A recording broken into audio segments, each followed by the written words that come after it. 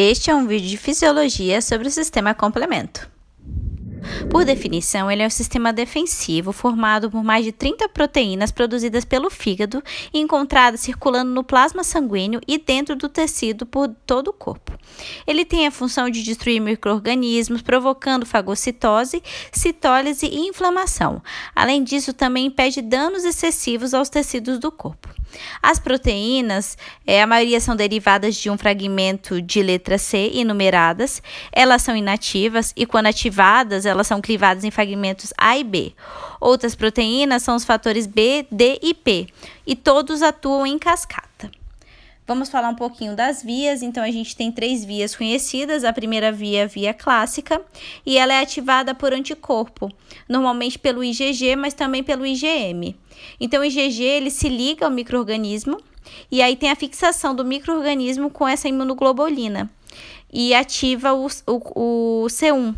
Esse C1 ele ativa proteases RS que clivam os segmentos C2 e C4, ativando o C3. E aí, se eu falo, se você quiser decorar alguma coisa que eu não acho necessário, grava o fragmento C3. Já a via B é a via alternativa. Nela, você não tem interação com a imunoglobulina. A interação é diretamente com o microorganismo, que ativa fatores B e D da membrana plasmática, ativando o C3.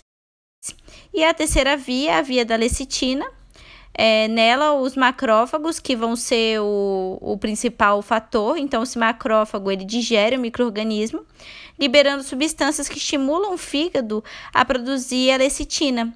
A lecitina ela vai se ligar aos microorganismos e vai ativar o C3.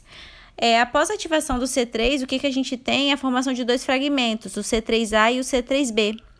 O fragmento C3b ele se fixa no microorganismo e ele causa uma opsonização, que é uma marcação, o que é, faz é, promover a fixação de um fagócito e intensificar essa fagocitose. O C3b também ele cliva o fragmento C5, transformando ele em C5a e C5b.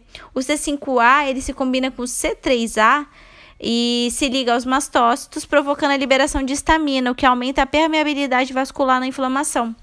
E o C5A sozinho também, ele atrai fagócitos para o local da inflamação.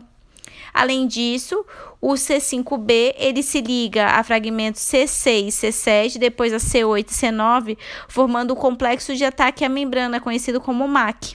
Esse complexo ele é cilíndrico e se insere na membrana do microorganismo, causando uma citólise, rompe a célula e extravasa o líquido citoplasmático. Não se esqueça de se inscrever no canal, ativar o sininho e deixar o seu joinha.